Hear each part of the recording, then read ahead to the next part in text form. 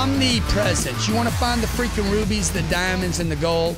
You must become omnipresent. Widely or constantly encountered conveys the concept of being everywhere all at the same, all in all places, all places at the same time. Never before in the history of mankind has it been more possible and easier and least expensive to become omnipresent. Your brand, your name, your face, your message, your company, your future, everything, man. You're connected to everyone now.